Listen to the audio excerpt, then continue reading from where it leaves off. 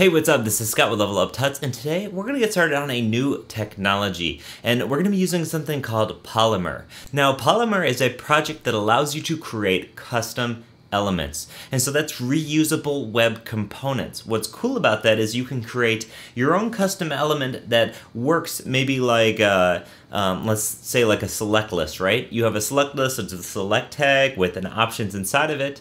And then the browser just knows how to handle that. It takes care of uh, default HTML, it takes care of default JavaScript handling, the way that when you click it, it opens up.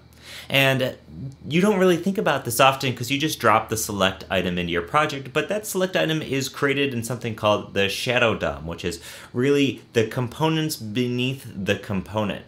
So what Polymer does is it allows you to create your own web components, essentially your own elements. Now, I strongly believe that this is part of the future of web development. You're going to be able to create and share web components instead of maybe throwing in some embed code for YouTube or something like that. You're perhaps throwing in a YouTube element with maybe an attribute that passes in the ID of the video and it automatically grabs that video and brings all that HTML in there and knows how to handle it rather than having to copy and paste a whole bunch of code.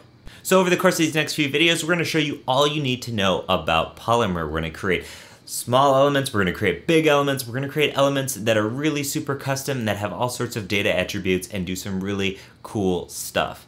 So keep watching, we're going to show you all that stuff over the course of these next videos. As always, this is Scott with Level Up Tuts. Thanks for watching and we'll see you in the next video where we're going to get started by installing and getting Polymer set up on our projects.